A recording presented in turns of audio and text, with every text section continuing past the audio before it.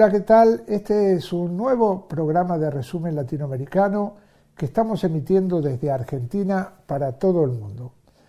Hoy vamos a hablar de eh, una situación eh, vivida en Honduras durante la dictadura, eh, esta dictadura que echó del gobierno a Mel Zelaya y que duró casi 10 años y que ahora, por suerte, ha llegado al gobierno una alianza popular que esperemos que termine con este tipo de lacras.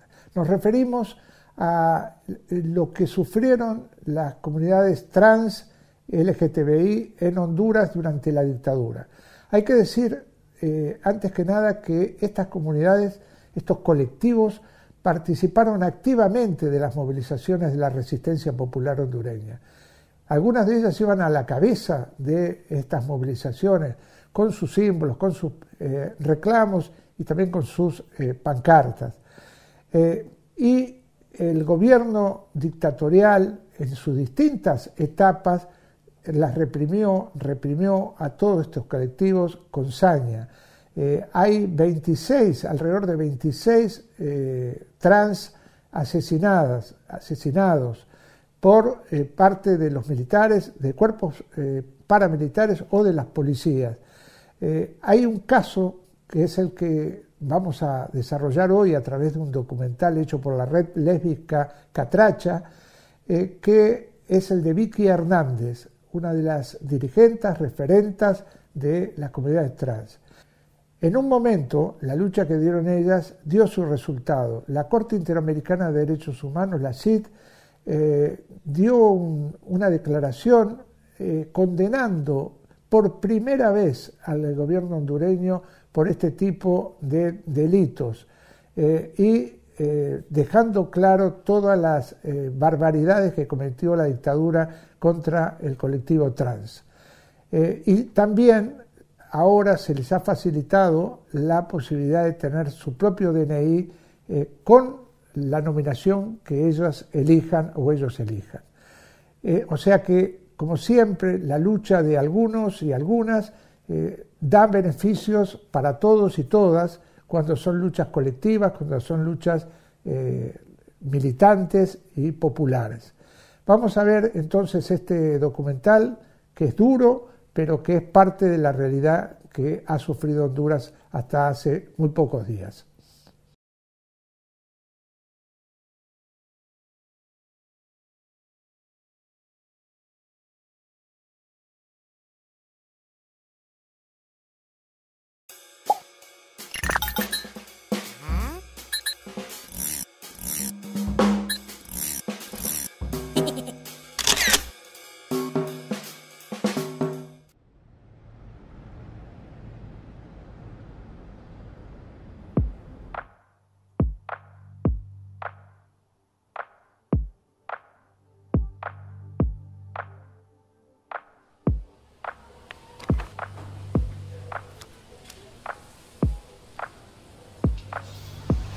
Bueno, esta se la tomé en 99.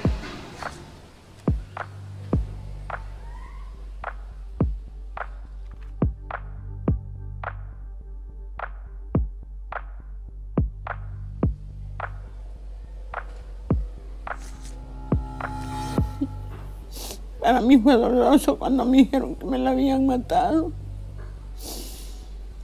Y las muchachas que andaban con ella la estaba esperando otro día con su comida porque me dice, mamá, me, tenés, me tiene comida, me, me hace sopita. Sí, le digo yo. Fue una noticia muy, muy dura para nosotros porque desde ese momento la vida de nosotros cambió. Como era el sostén de la casa ella, entonces de ahí la vida de nosotros cambió demasiado. Cuando se fue en la noche, yo quedé esperándola con la cena, porque le hice la cena, se la puse, se la guardé para esperar. Pero no, no vino esa noche. Al día siguiente le estábamos haciendo la sopita. Y cuando miro que ya era tarde y no venía para almorzar, fue donde yo me preocupé y empecé a preguntar. El Estado es el responsable y quien creo yo, la policía. Es el momento de que ya la historia cambie para Honduras. Es que el 28 de junio no solo sea recordado como el día en que Honduras entró en una crisis política, sino como también el día en que la Corte Interamericana comience a exigirle al Estado de Honduras que cambie sus sus leyes, que cambie su contexto, que reconozca, garantice y respete los derechos de las personas LGBTI.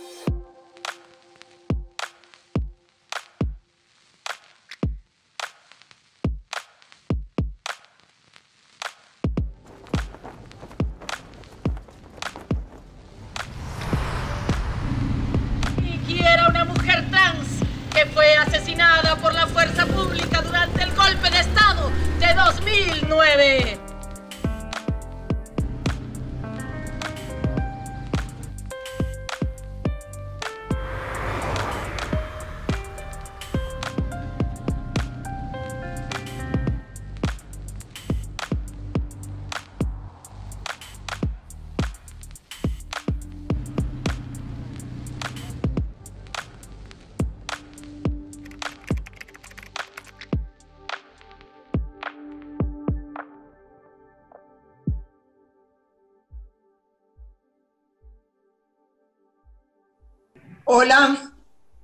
Buenos días.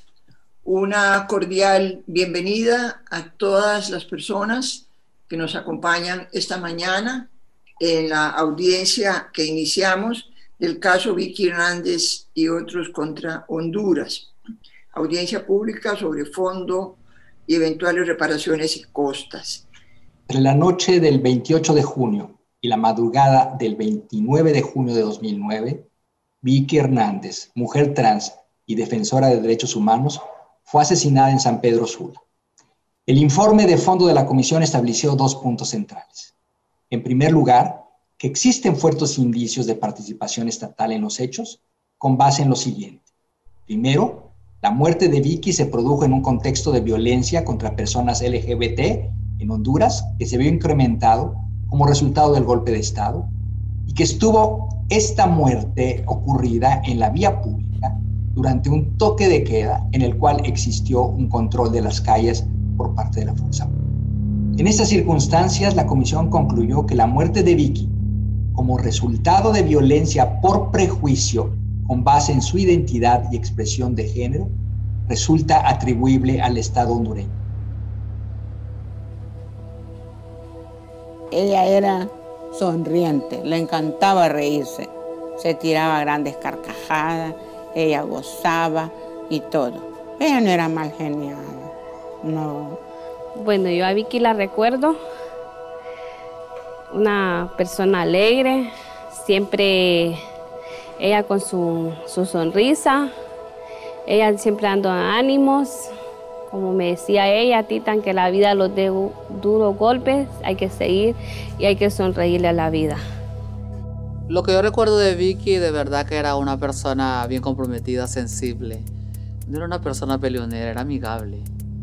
Siempre hay fricciones a veces dentro de las comunidades, ¿verdad? Pero ella yo no, o sea, no la miraba de esa manera violenta, no era una persona violenta. Yo recuerdo que yo conversaba con ella y ella quería ser profesional, ella tenía visiones futuras, ella quería seguir trabajando por la comunidad, ella quería tener un salario digno y me doy cuenta que ya no está pues y que, y que sus planes no se cumplieron y que no me gustaría que me pasara a mí o que no me le gustaría que, me que se repitiera con otra amiga. Entonces esas cosas, una persona empoderada, una persona que estaba ahí para la comunidad servicial. Ella en el día andaba vestida de... se vestía de hombre. Bueno, andaba con su pelo cortado y todo. Ella solamente se transformaba con sus pelucas en la noche. Mamá me dice, a mí me conocen como Vicky. Si un día vienen preguntando por Vicky, soy yo, me soy yo. Bueno, está bien, le decía yo. No te preocupes. Y ella andaba en ella andaba en todo, ella trabaja en colectivo, color rosa, ella andaba para, para arriba y para abajo. Es que me decía, mamá, ya me voy, voy para el colectivo. Yo, la realidad, yo no sabía que era colectivo. Ah, me dice, ¿dónde trabajamos? Me dice, para beneficio, me dijo, de, de las personas, me dice que ella trabajaba, era donde salían a marchas, a que hubiera igualdad, que hubiera igualdad de género. Yo, la realidad yo soy nula en eso. Entonces eso era lo que me dijo, vamos a pelearme. Y eso era lo que ella hacía, que trabajaba con, con Claudia y todo el colectivo. El colectivo Unidad Color Rosa, el colectivo Unidad Color Rosa nace en el 2001. Ahí empezamos como el reclutamiento para las chicas, formación de sensibilización en los temas, eh, en los temas ah, que van um, específicamente para nosotras, como el tema de, el, de género, el tema de, em, del uso de hormonas y sustancias, el tema de drogas y alcohol, el tema de trabajo sexual. Los, los, ejes transversales eran la prevención del VIH, derechos humanos e incidencia política. Entonces ella es una persona emprendedora, una persona comprometida con mucha empatía para la comunidad trans, se empodera mucho, logra ser una figura pública para nuestra organización, pero lamentablemente en el 2009, en el golpe de Estado, Vicky fue asesinada. El 28 de junio del 2009 fue el primer golpe en el siglo XXI y de alguna manera fue un golpe pionero en la historia de América Latina. Sucedió justo cuando nadie, a excepción de los mejor informados, esperaban el golpe. De hecho, eh, las personas que teníamos mejor información sabíamos que algo se estaba preparando, pero honestamente todavía éramos muy escépticos con respecto a la posibilidad de que se produjera un golpe de Estado. Nos parecía un acto demencial. Pero bueno, esa locura se produjo y fue el 28 de junio, desde las 4 o 5 de la mañana, cuando eh, capturaron al hoy expresidente Manuel Zelaya y luego le deportaron hacia Costa Rica. Las fuerzas más conservadoras religiosas, militares, políticas, empresariales, tenían una especie de conspiración de las élites. Y esa conspiración podía desembocar en cualquier momento en una ruptura del orden constitucional. Por lo tanto, estábamos, si no totalmente preparados, al menos advertidos. El 28 de junio estaba planificado responder eh, una encuesta a nivel nacional donde se le consultaba a la población si en las elecciones de noviembre del 2009 querían una cuarta urna para poder llevar a cabo una Asamblea Nacional Constituyente. Manuel Zelaya Rosales tenía aspiraciones de reelegirse, pues era un presidente que tenía bastante apoyo del el pueblo hondureño. Entonces era como, como que sí se escuchaba que la gente estaba diciendo que podía haber un posible golpe de Estado, pero la gente eh, que estaba acompañando la, propuesta de la cuarta urna y la votación, estaban felices y contentos de que el día siguiente se iba a llevar a cabo. A raíz de eso, pues las Fuerzas Armadas tomaron el mando, destituyendo a Manuel Zelaya, lo sacaron de su casa. Señor secretario, eh, llamemos a declarar al señor perito propuesto por la comisión, por favor se habla de por lo menos 29 muertes en un periodo de siete meses. Es el escenario del golpe de Estado y las principales afectadas de este grupo son justamente mujeres trans en situación de prostitución. Yo quiero señalar que eh, se habla de este grupo de 29 personas, que hay 15 mujeres trans que son asesinadas y quisiera eh, señalar las características que eh, tienen estas muertes. Las 15 personas que mueren, las 15 mujeres trans que mueren, sus cadáveres fueron encontrados en la vía pública, todos con signos de notable violencia. Ocho con disparos de arma de fuego, dos con laceraciones, una lapidación, una muerte con arma blanca, un atropellamiento, un calcinamiento y un descuartizamiento con castración y decapitación. Diez de estas mujeres trans se dedicaban a la prostitución. Diez de ellas eran miembros del colectivo Unidad Color Rosa. Once de estos crímenes ocurrieron en la región del Valle del Sula. Ocho de estos crímenes se dieron en el escenario del toque de queda o del estado de sitio. Todas las mujeres tenían un promedio de entre 25 y 30 años al momento de morir y en ninguno de estos casos se reporta avances significativos en la investigación o sanción de los responsables.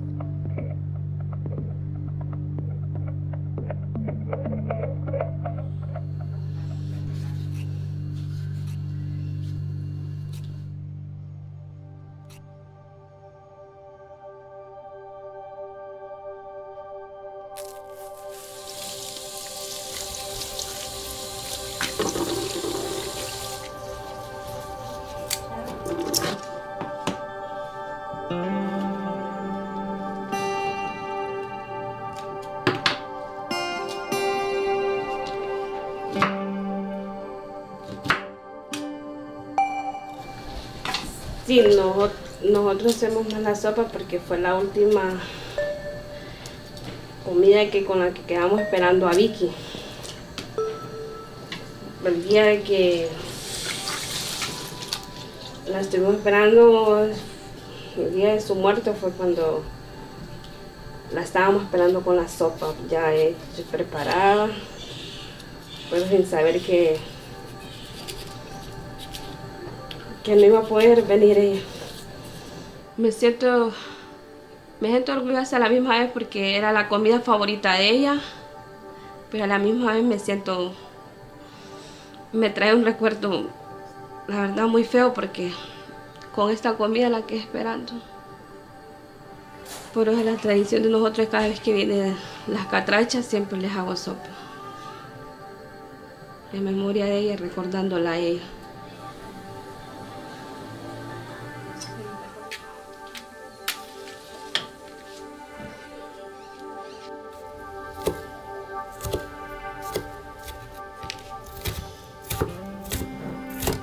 Cuando se fue tenía 16 años.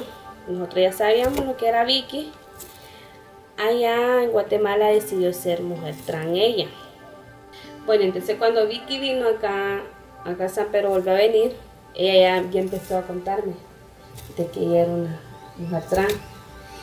Entonces yo le dije a ella que, que se cuidara cada vez que salía, solo yo sabía, mi mamá todavía no sabía.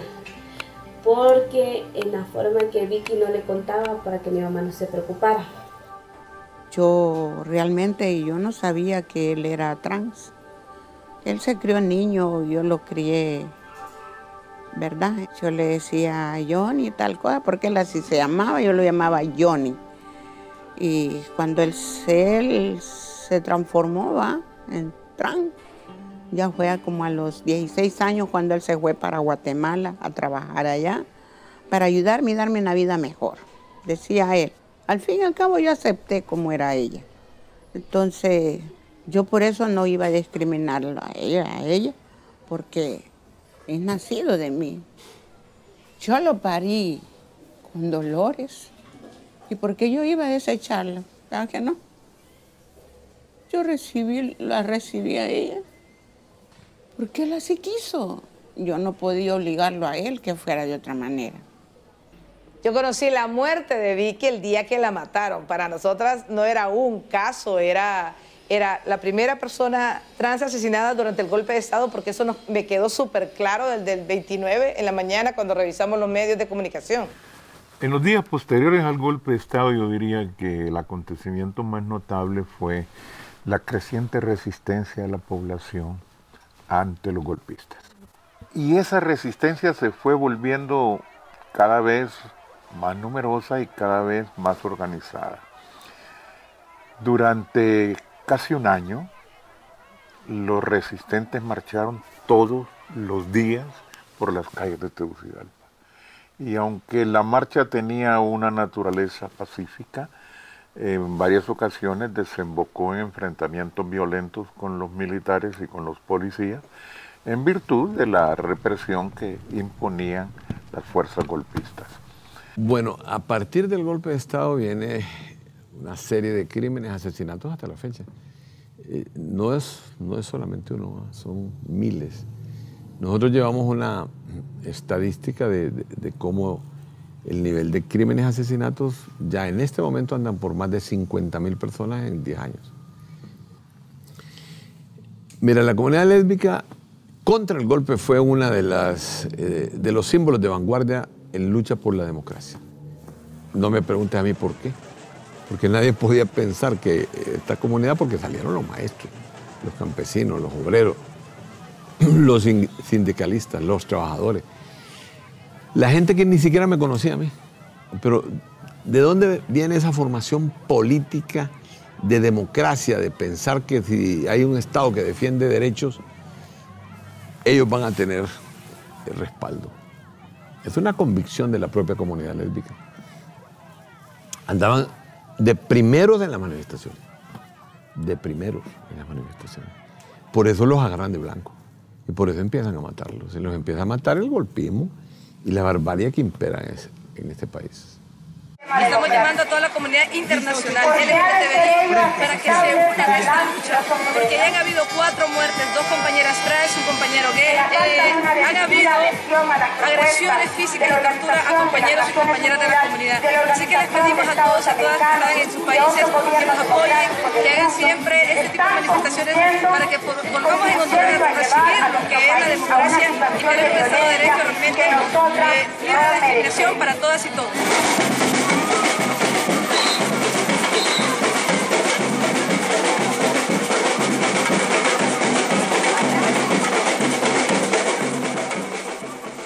En el golpe de Estado del 28 de junio, la gente se autoconvocó y en esa gente estaba la comunidad LGTBI. O sea, las personas LGTBI estábamos en la calle junto con sindicalistas, maestros, maestras, el gremio. Bueno, ¿quién no estaba ahí? Las feministas también. Y, nos llamamos al final Feministas en Resistencia. Durante los seis meses que estuvimos en, en, la, en, la, en las marchas, porque fueron seis meses de marchar diariamente para primero para que tratar de que el golpe se diera vuelta, eh, no lo logramos. Ahí se fue cambiando el, frente de resistencia eh, contra el golpe. Después todo esto se convirtió en, el Partido Libre, Libertad y Refundación. Se hablaba de la refundación del país. Me acuerdo que cuando nosotras estábamos en, en las marchas y la gente, mucha gente, había marchas hasta de 300 mil 200 mil personas, que eso era muchísimo aquí en Tegucigalpa, que era el lugar donde más hicieron eh, fuertemente marchas, pero también hubieron en La Ceiba, en San Pedro Sula, pero aquí era donde más había, la represión era gaseadas todos los días, corridas, y eso todo eso quedó registrado. O sea, había caos porque no había pasada ni para una ciudad ni para otra, o sea, se, se estabilizó, se puso como un estado de sitio, donde nadie podía trasladarse a nadie, nadie podía viajar, nadie podía salir, nadie podía entrar, o sea, Honduras estaba paralizado. Y nosotras pues teníamos que ver la manera como subsistir. A través de esto pues teníamos que salir para, para, para, para llevar alimento, ¿me entiendes?, a nuestro hogar. Pero éramos objeto de violaciones, de atropellos psicológicos, verbales y físicos. De mi experiencia, pues Imagínate estigma, discriminación, estigmatización, objeto de burlas, violencia física, psicológica, mental, verbal. O sea, yo pienso que como, como te digo, yo estoy viva, no sé. Estoy viva porque Dios existe y porque realmente digo yo gracias porque para, todo lo que viví en esta historia de esta vida, soy una historia de las pocas que conocí, que todas mis amigas quedaron en el camino y las vi caer. Entonces te lo digo por experiencia, abrir ese, ese baúl de recuerdos es muy duro. Cuando vino eh, la Comisión Interamericana de Derechos Humanos en, situ eh, para ver lo del golpe de Estado, eh, sí hubo personas que vinieron a, ver lo que estaba pasando con las personas LGTBI y como nos llamaron a todo el mundo, ¿verdad?, a, reuniones con la comisión, yo llevé el informe de cuántas personas habían muerto en ese momento, cuando habían venido, y empecé ahí a tener el contacto con la comisión directa. Ahí comenzamos con Vicky. Que no quede impune, como muchas han quedado. Eso es lo que yo quisiera, y que quedara en historia como muchos han fracasado. Y yo sé que muchos han sido discriminados, han muerto por discriminación.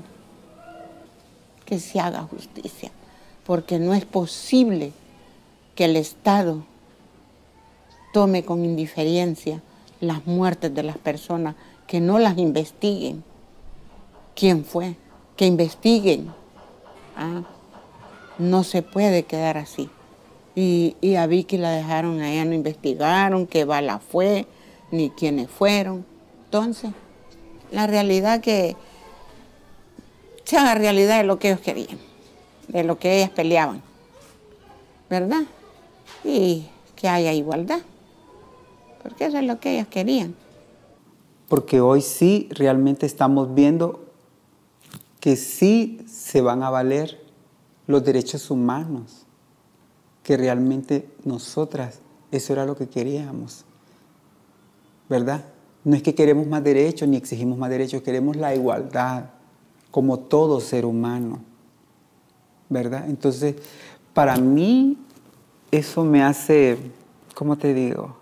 Queda en la historia, porque fue la historia de un sueño que Talía pidió hace 21 años atrás, cuando pedíamos una identidad de género, y que tardó 21 años para que se aprobara.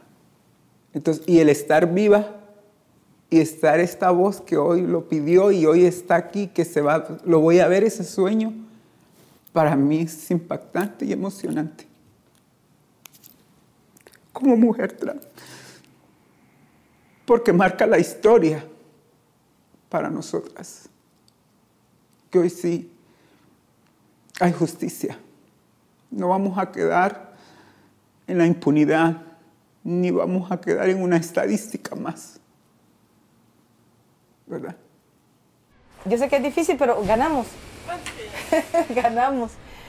Eso es lo bueno, que se hizo justicia. Sí. No, y sí, realmente sí nos fue bien porque hasta asignaron una beca de estudios para las mujeres trans, bueno, las personas trans en este caso. O sea, para siempre. O sea, todos los años alguien puede aplicar una beca para poder estudiar. Por lo mismo que hicieron con Vicky, que no la dejaron estudiar. Entonces, sí, e, ese reconocimiento es, importante, de verdad, y es súper, o sea, estamos súper contentas, la verdad, y sí, de hecho yo quiero seguir brincando. A partir de Vicky todo va a cambiar. Así todo es. va a cambiar porque hacer justicia para Vicky es, justicia, es hacer justicia para por todos, exactamente. todos. Como Eh. pedíamos nosotros. Correcto. Justicia para Vicky, justicia para todas. No sé, pero sí lloro, ¿cómo le quiero decir? Un poco de tristeza porque no está ella viva. Y un poco me alegro porque se hizo justicia. Alegre, ¿verdad? Por ese motivo, pero, como les digo, es duro. Porque hoy 12 años de su partida sin, Sí, lo sabemos. sin retorno. Pero, bueno, aquí estamos. Me siento alegre.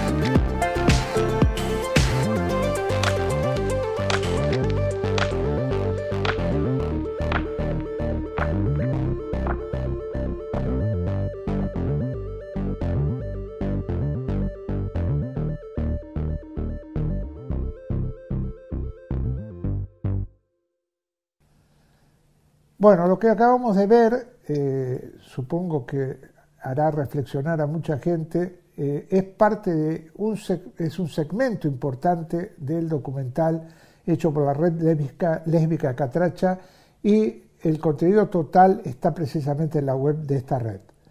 Con esto nos despedimos hasta la próxima semana con más resumen latinoamericano. Banco Credicop, el banco cooperativo ideado para que los sueños de los argentinos se hagan realidad. Hay otra idea de banco y funciona. Sumate. Banco Credicop Cooperativo, la banca solidaria.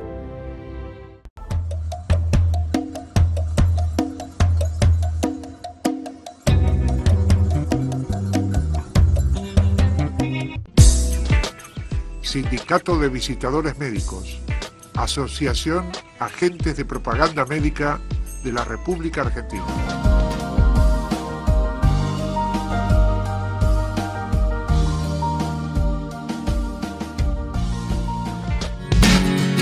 Asociación de Trabajadores del Estado, Central de Trabajadores Argentinos.